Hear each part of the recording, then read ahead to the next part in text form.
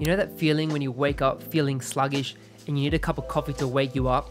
Coffee is the drug of choice for most people, so I wanted to design a coffee brand that had a space themed cafe. Now, this brief was pulled straight from my June brand design challenge. If you do want to win some prizes and participate, then check out next month's challenge on my Instagram. My goal was to create a logo, packaging, and identity that was inspired by space and astrology.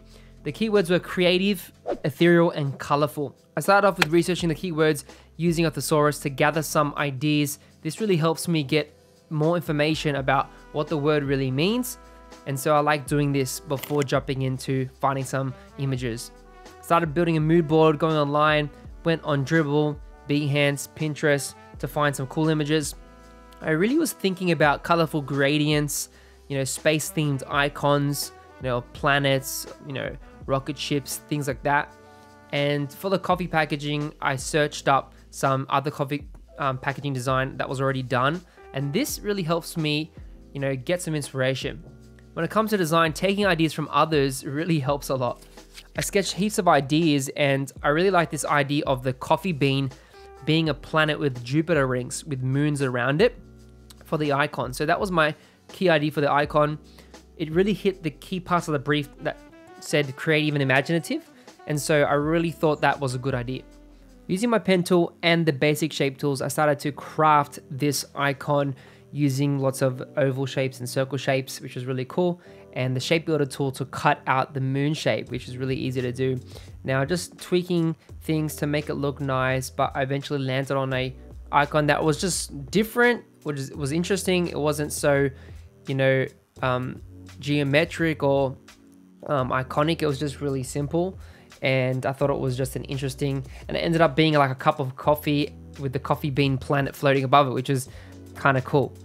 I started to create a custom type mark. I was really battling about the font if I should make it more weird or, or fun. And so I just ended up going for this nice sans serif font and I wanted to customize it. So I really created this arc Uh, connecting the A and the R, which I thought was really cool. And it sort of had this oval shape in the shape of like a circle, which can represent a planet. So I thought that was neat. I then started adding some other information like coffee, Byron Bay in 2022 because they were launching this calf. But in the brief, it wasn't specific on the date, so I just interpreted it like that. And I just feel like adding these elements makes a nicer lockup with the logo and creates a cohesive design system.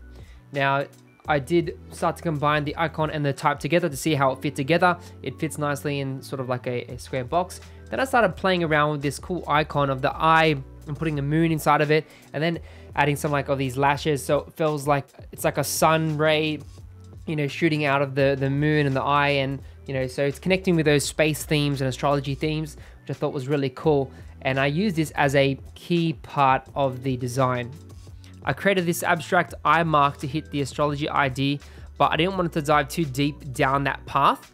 So I just used it as a cool pattern for the packaging and for some promotional materials. And that's the thing I love creating about patterns and icons and stuff. It's like, just have fun with it. Like be playful, be creative, create something that's simple, but can work in different situations. I then started to develop some other logo lockups that I thought was really cool.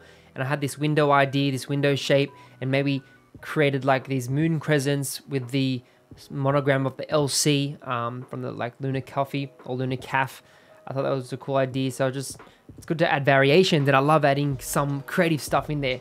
Um, but then we eventually jumped onto the color. I basically took some colors from an image I, I found in my mood board, and that was super cool because it just felt like the contrast between like it was like a purpley blue with the orange worked really really well. Had that sort of space vibe, creative flow, it was very colorful as well, which is what I wanted. And then I played around and made a cool gradient for some um, cool design stuff. I started to play around with some gradients and added some color to the core elements of the logo and I really liked how it was turning out. I created some nice little poster designs or some like promotional materials that could be useful. Then I played around with the packaging and here is how the final design turned out.